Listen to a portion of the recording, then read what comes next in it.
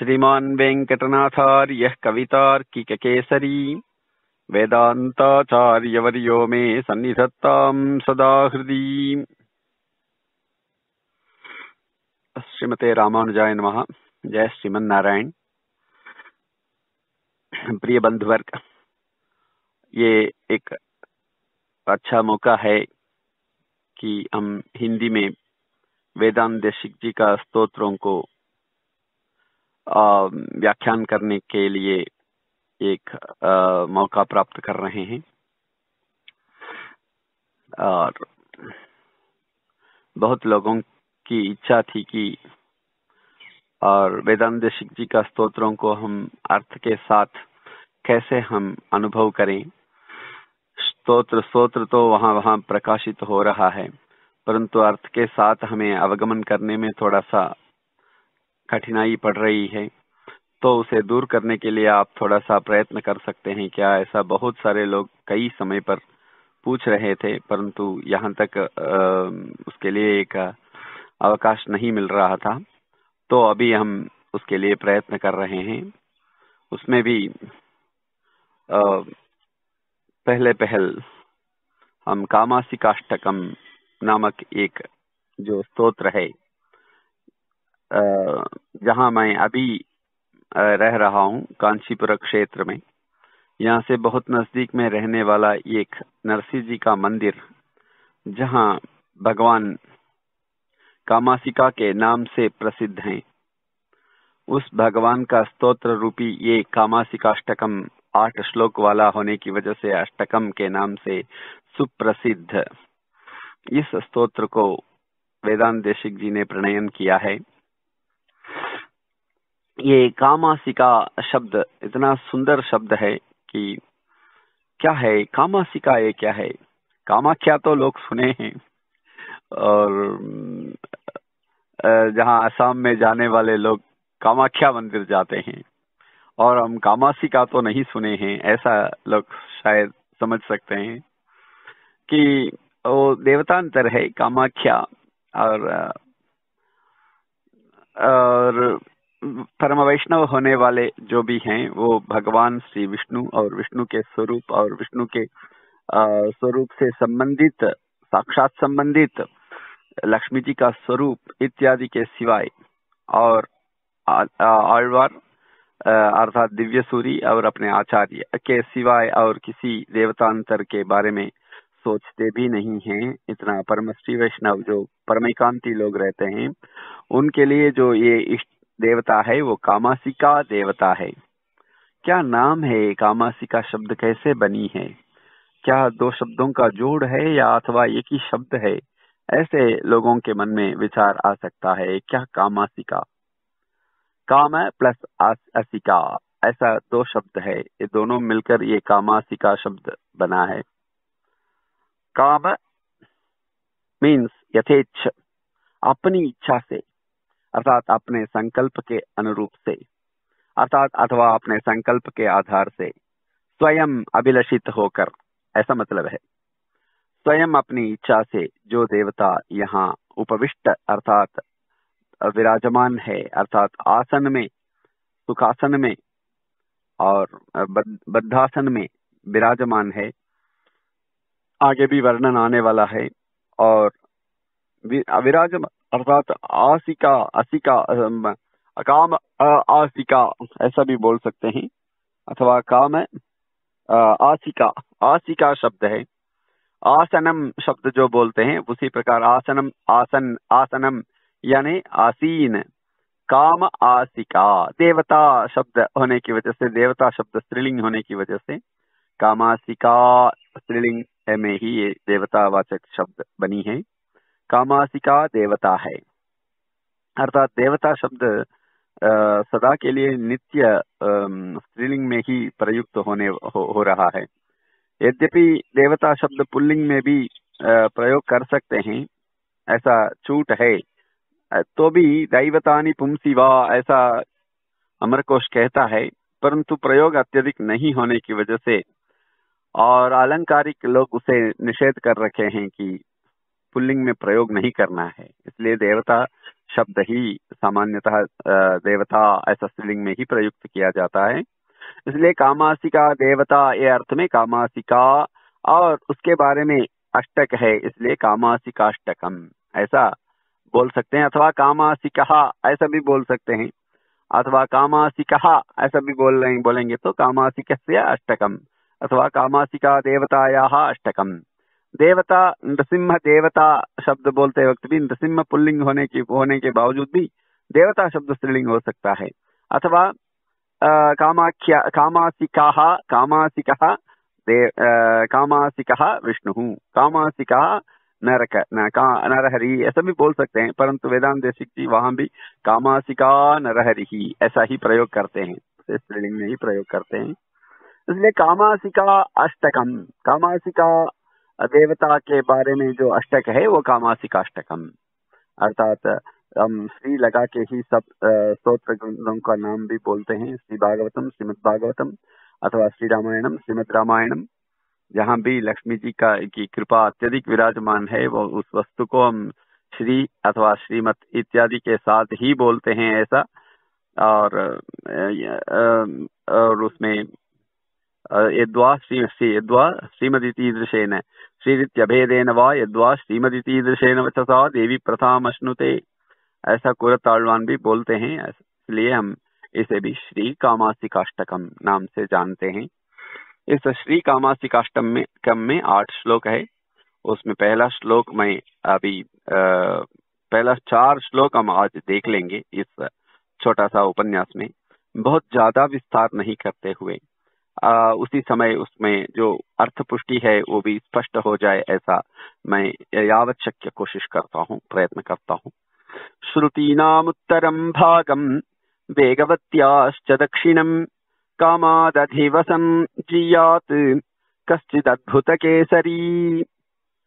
श्रुतीनाम् उत्तरं भागम् उत्तरं भागं, वेगवत्याः च दक्षिणं, कामात् अधिवसं जीयात् कश्चित् अद्भुतकेसरी।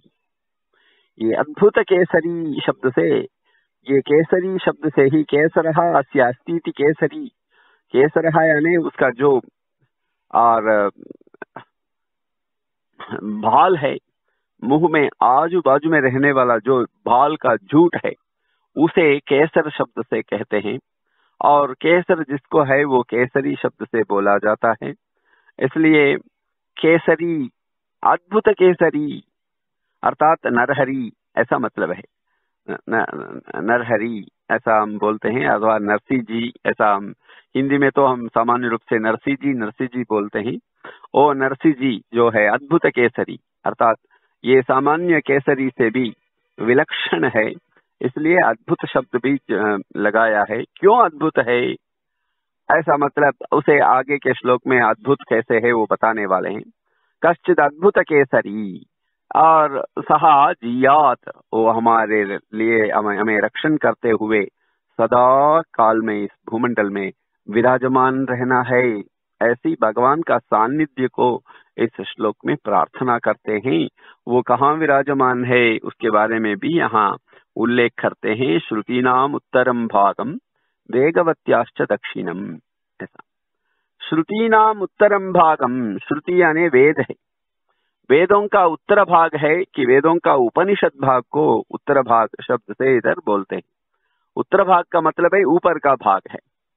अर्थात श्रुति नाम उत्तरम भागम अर्थात उपनिषद भाग में विराजमान है। श्रुति नाम उत्तरम भागम और अर्थात उपनिषद भाग में विराजमान है।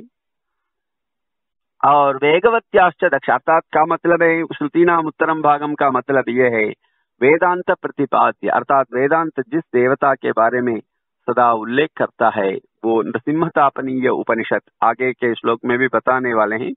नृसिंहतापनीय उपनिषद ऐसा एक उपनिषद है, वो उपनिषद भगवान नृसिंह जी के बारे में ही प्रकाश डालता है।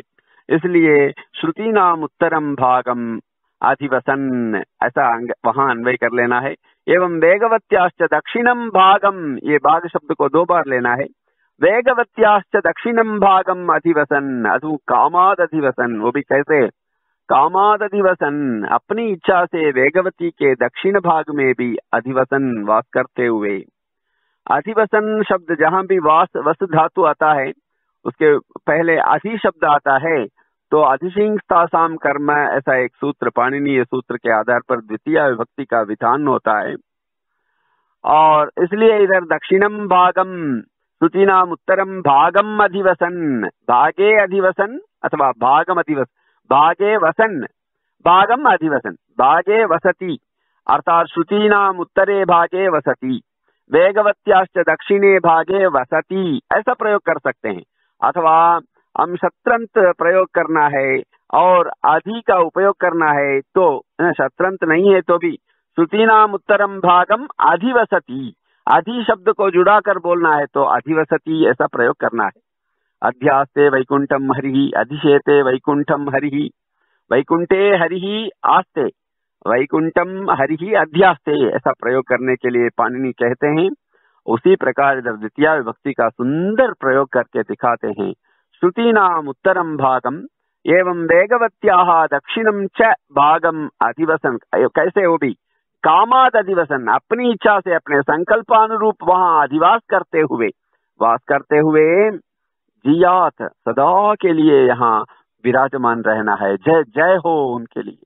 जियात का मतलब जियात का मतलब है इधर जय जियमान हो, सदा के लिए विराजमान हो। भक्तों को दर्शन करते हुए इधर वो उन, उस भगवान का सान्निध्य इधर हो। ऐसी प्रार्थना इस श्लोक में की गई है। श्रुति नाम उत्तरम भागम अधिवसन, वेगवत्याश्च दक्षिणम भागम अधिवसन वो भी कामात अधिवसन, अपनी इच्छा से कश्चित अद्भुत केसरी जियात।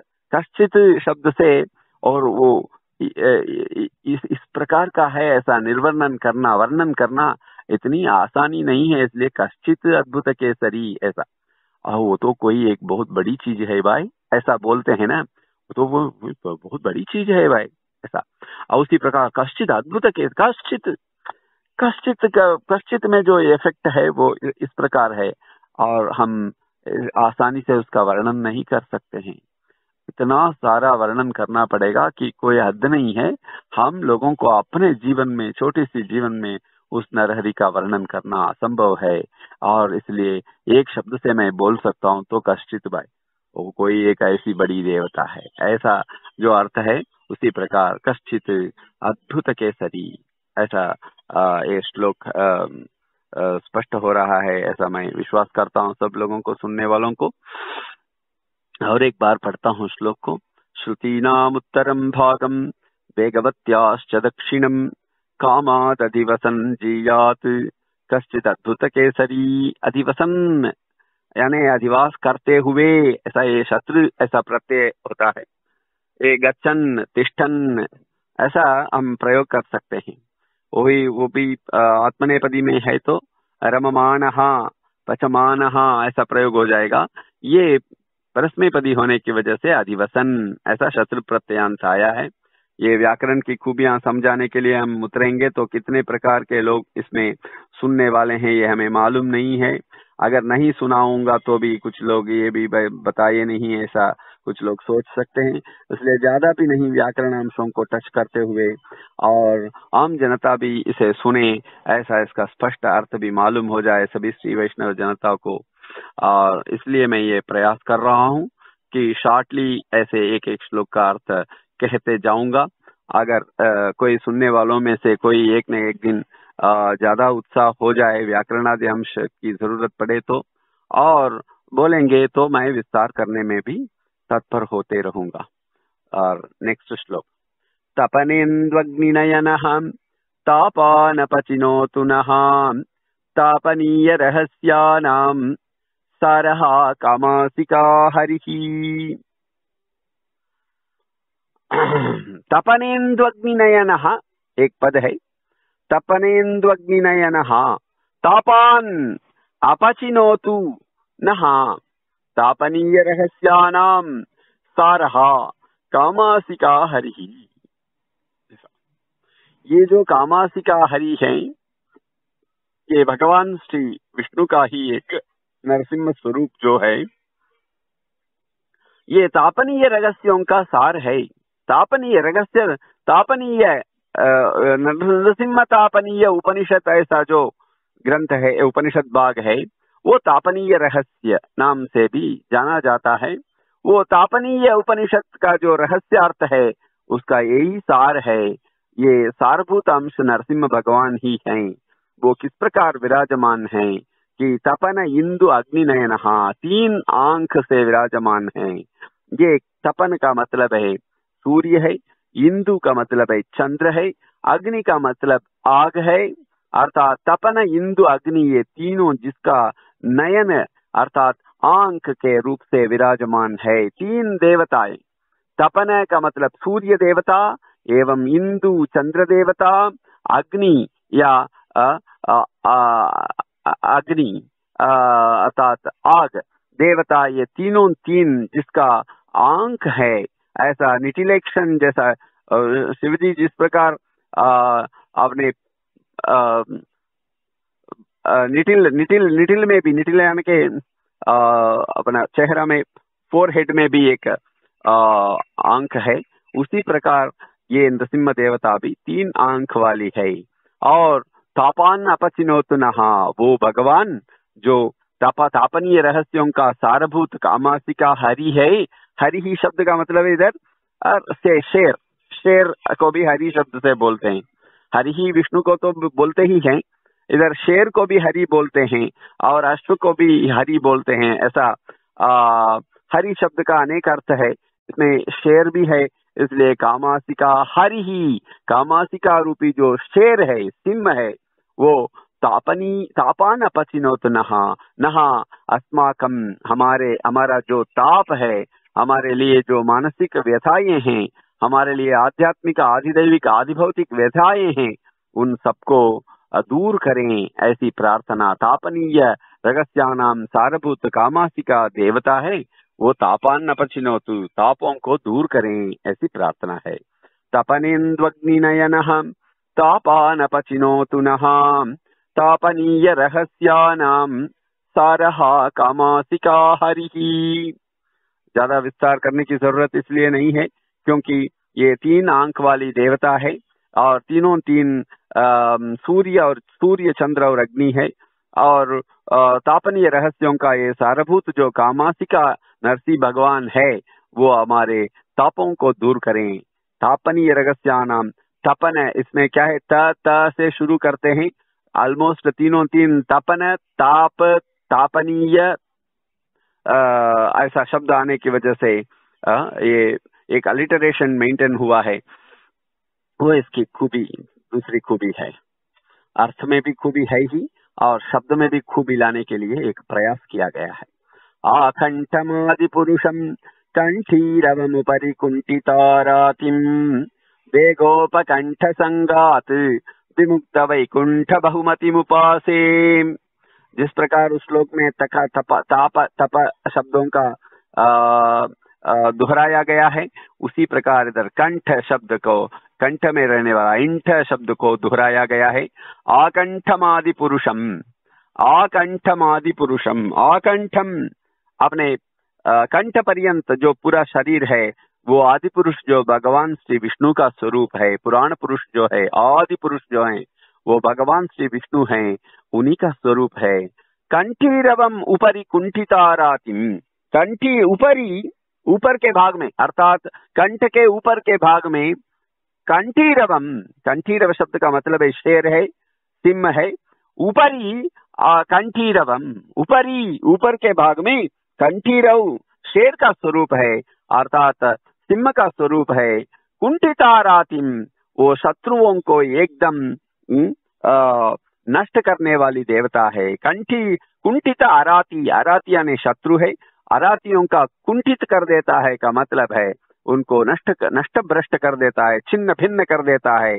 ऐसी कुंठिता राति देवता है। कुंठिता रात ये न सहा सहा, ऐसा मतलब है। कुंठिता रातिम वेगोपकंठ संगात अर्थात वेगवती नदी जो है, सरस्वती नदी है ये ब्रह्मा जी की तपस्या को भंग करने के लिए जो सरस्वती नदी अर्थात पत्नी के बिना ये तपस्या करने के लिए तैयार हो गए हो गए थे, इसलिए सरस्वती जी और उनकी तपस्या को भंग करने के लिए नदी रूप में आई थी। उससे उसे और वहाँ स्टॉप करने के लिए रोकने के लिए भगवान एक सेतु बने थे। अर्थात वैसे वेग, वेगवती, ऐसा वो नदी के तीर में विराजमान और एक देवता है। और यहाँ वेगवती के किनारे पे रहने वाली देवता है, ये नरहरी देवता भी। और वेग उपकंठ है, वेगस्य वेगवती नदी के जो पार्श्ववर्ती प्रदेश है, अर्थात बाजू में रहने वाला उपकंठ प्रदेश है।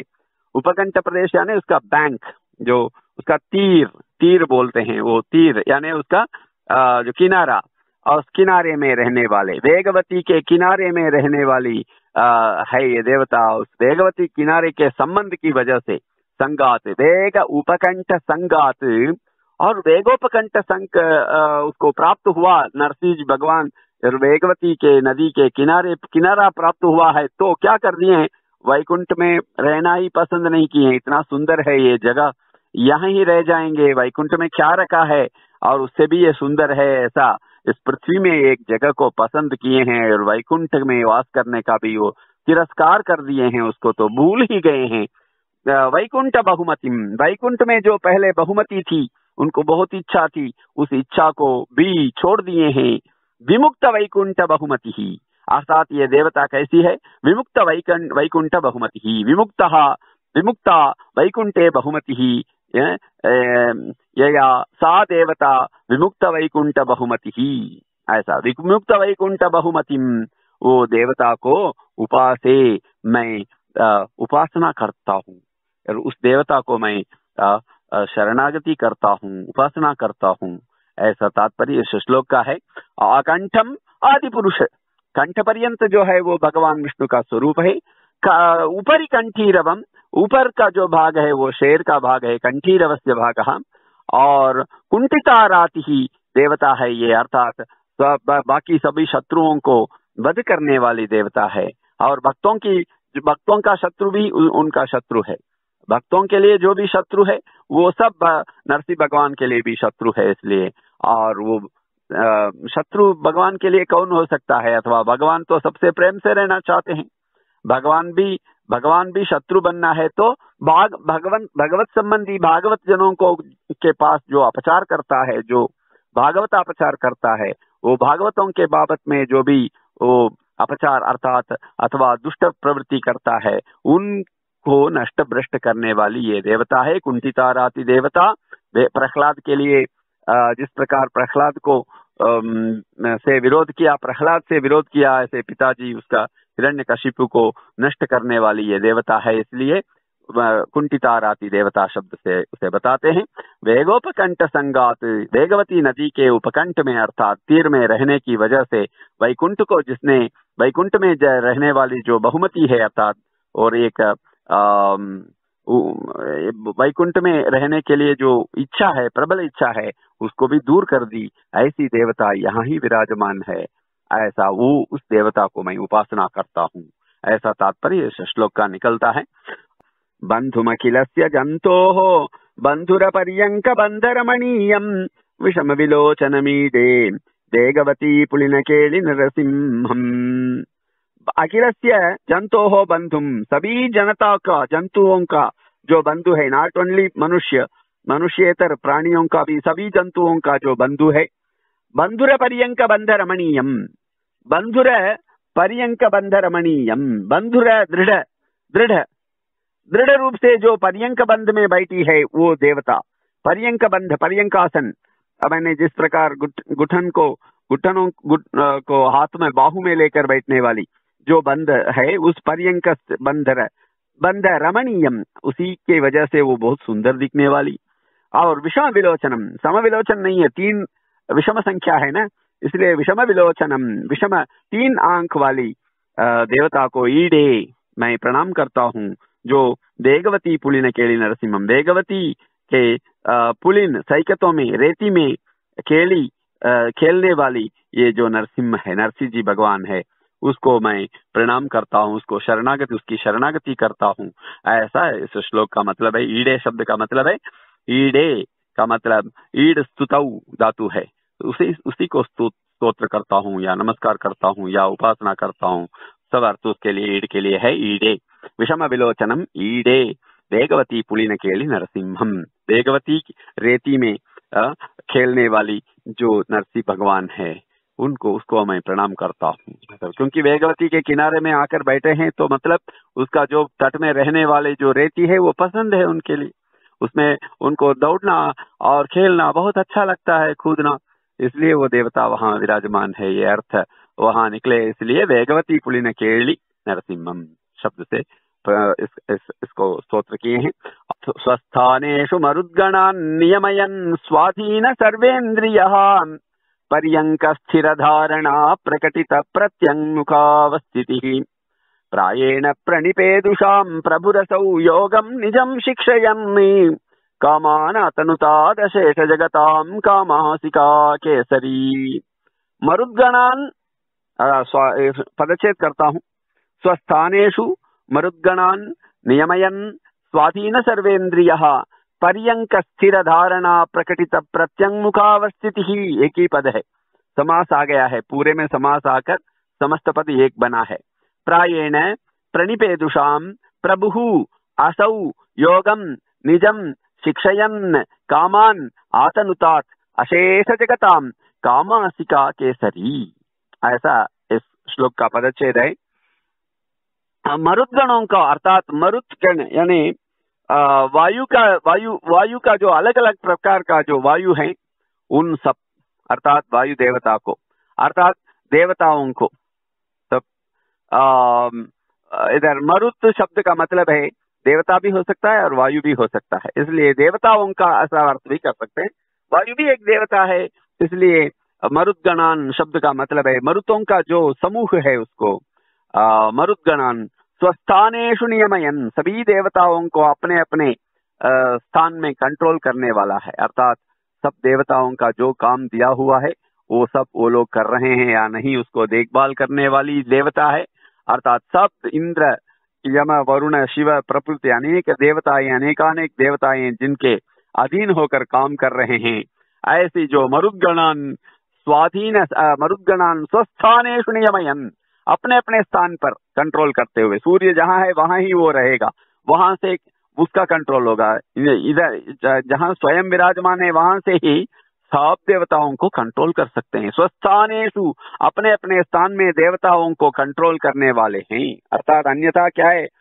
सब घूमते रहते हैं और तो भी एक के साथ एक कभी भी एक्सीडेंट नहीं होता है वहाँ। उस प्रकार उसको संभालने वाली देवता। ये कितने ग्रह घूम रहे हैं? एक ग्रह के साथ एक ग्रह का भी अभी तक कुछ मुठभेड़ नहीं हुआ है। उस प्रकार और स्वस्थानेश मरुद्गणान नियमयन कंट्रोल करते। नियमन नियमन करना है कंट्रोल करना। नियमयन अर्थात अपने अपने स्थान पर उसको रख रखते हुए स्वाधीन सर्वेन्द्रिय अपने कंट्रोल में रहने वाली देवता है। और गुस्सा भी आता है तो कंट्रोल में गुस्सा आता है। गुस्सा को अनकंट्रोलेबल गुस्सा मनुष्यों को आता है। कभी कभी वो सर्वनाश कर देता है। ऐसी ये देवता का कोप जो है, वो अपने अधीन में होकर हाँ जहाँ ज़रूरत पड़े, वहाँ ही गुस्सा करेगी ये देवता। जहाँ आवश्यकता नहीं है, वहाँ प्रेम बरसाएगी। ऐसा जो स्वाधीन सर्वेन्द्रिय सभी इंद्रिय अपने वश में रहने वाली देवता है। क्योंकि लोग समझ लेंगे कि नरसिंह जी देवता है ना, वो बहुत गुस्सा है, गुस्सा वाली देवता है। ऐसा बच्चों को नहीं सिखाना। बच्चों को कभी कभी वो डराने के लिए और मैं दाढ़ी रखे जाता हूँ कभी कि मुझे दिखाकर भी उनको खाना खिला देते हैं ना। उस प्रकार नरसिंह भगवान भी और केसरी है, केसर के साथ रहते हैं, उनको डराने के लिए उपयोग कर लेते हैं माँ बाप सब। और वैसा नहीं करना कि स्वाधीन सर्वेंद्रिय, बहुत प्रेम वाली देवता है, प्रेमालु है। स्वाधीन सर्वेन्द्रिय पर्यंक स्थिर पर्यंक स्थिर धारणा प्रकटित प्रत्यंगमुखावस्थिति ही। पर्यंक बंध, ऐसा एक बंध है, वो एक प्रकार का आसन है। और दोनों गुठन को अपने हाथों में, बाहू में लेकर बैठने की एक तरीका है। और उसे पर्यंक बंध बोलते हैं पर्यंक आसन बोलते हैं। पर्यंक बंध में बैठते हुए पर्यंक स्थिर धारणा, स्थिर रूप से उसे धारणा करते हुए, दोनों गुठन को धारण करते हुए प्रकटित प्रत्यंग प्रत्यंगमुखावस्थिति, प्रकटित यानी हमारे लिए दर्शन देने वाली, प्रकटित, प्रकट, प्राकट्य प्राप्त हुई।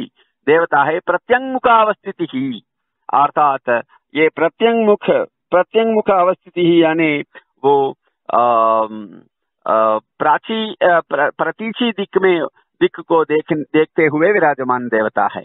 प्रतीची यानी पश्चिम दिशा को देखते हुए विराजमान देवता है। प्रत्यंगुका अवस्थिति ही ये देवता प्रायेण प्रणिपेदुषाम प्रभु असौ योगम निजम शिक्षयन। किसके लिए ऐसे बैठी है कि मतलब मोस्टली सब लोगों को योग शिक्षा योग शास्त्र की शिक्षा देने के लिए मानो ऐसी बैठी है, ऐसी उत्प्रेक्षा है। प्रायेण, प्राय शब्द आएगा तो उत्प्रेक्षा है। और प्रायेण प्रणिपेदुषाम उन, आजकल योग शास्त्र के लिए प्राधान्य देने के लिए सब लोग बताते रहते हैं। प्राइम मिनिस्टर भी योग योग का दिवस मनाए हैं।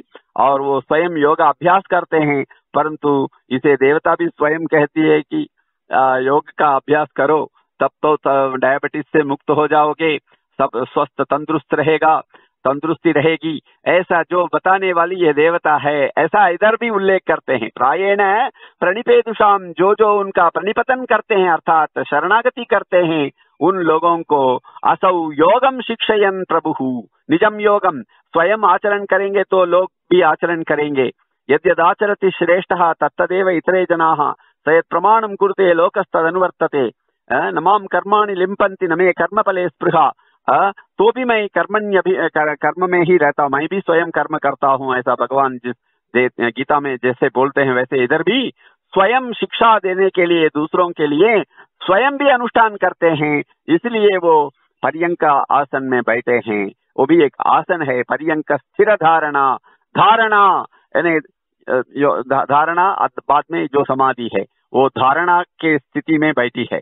का मतलब है प्राणायाम, प्रत्याहार ध्यान, आसन धारणा ध्यान, समाधि ही ऐसा जो अष्टांग योग बोलते हैं, यम नियम, आसन, प्राणायाम इत्यादि, उसमें धारणा एक ऐसी स्थिति है जिसके बाद साक्षात्कार हो जाएगा। ऐसा जो धारणा प्रकटित है, उस धारणा में रहते हुए, एकाग्रता में रहते हुए जो देवता स्वयं दूसरों को योग का शिक्षा दे रही है, और ऐसी जो देवता कामान आतनुता अशेष जगताम कामासिका केसरी ये जो अशेष जगताम कामान आतनुता सब दुनिया भर में रहने वाले सब लोगों की इच्छाओं को पूर्ण करें। कामान आतनुता अपने अपने कामों को विस्तृत रूप से करें। और जो चाहे, छोटा सा चाहे तो भी उनको बहुत बड़ी कर दें। तो वो तन धातु का स्वभाव है। तन विस्तारे धातु है। आत आतनुतात का प्रयोग किए हैं। अर्थात आप लोगों की इच्छाओं को और संपूर्ण करें वो देवता और उसमें वृद्धि लाए और कामासिका जो केसरी है, अपनी इच्छा से, अपने संकल्प से यहाँ आकर विराजमान ये जो देवता है, वो हम आप लोगों का, अर्थात कामान आतनुतात अशेष जगताम। कामान आतनुतात सब लोगों की जो कामनाएँ उसे पूर्ण करें। ऐसी प्रार्थना इस श्लोक में की गई है। और और वो कैसे विराजमान है? क्या उद्देश्य है? देवताओं को जिस प्रकार कंट्रोल में रखती है, शत्रुओं को किस प्रकार नाश कर देती है, और वो सब विषयों को बताते हुए स्वस्थानेषु मरुद्गणान् नियमयन् स्वाधीन सर्वेन्द्रिय पर्यंक स्थिर धारणा प्रकटित प्रत्युमुखाव सर्वेन्द्रियः पर्यङ्कस्थिरधारणा प्रकटितप्रत्यङ्मुखावस्थितिः प्रायेण प्रणिपेदुषाम् प्रभुरसौ योगम् निजम् शिक्षयन् कामानातनुतादशेषजगताम् कामासिका केसरी अर्थात मरुद्गणान् स्वस्थानेषु नियमयन् स्वाधीन सर्वेन्द्रियः पर्यङ्क स्थिरधारणा प्रकटित प्रत्यङ्मुखावस्थितिः प्रणिपेदुषाम निजम योगम प्रायेण शिक्षयन प्रभु असौ कामासिका केसरी अशेष जगताम कामान आतनुतात ऐसा अन्वय कर लेना। और सो पाँच श्लोक हुआ है और तीन चार श्लोक हैं कि आगे के उपन्यास में उसको भी मैं बोल दूँगा। कवितार्किक सिंहाय कल्याण गुणशालिनी श्रीमते वेंकटेशाय वेदांत गुरवे नमः। भक्त लोग कंटिन्यूसली इसे सुने और लाभान्वित हो जाए कि ऐसी प्रार्थना से मैं विरत होता। धन्यवाद। जय श्रीमन नारायण